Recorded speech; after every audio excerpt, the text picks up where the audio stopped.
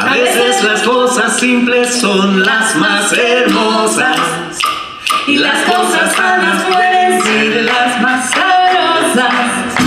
Por eso te traigo yo.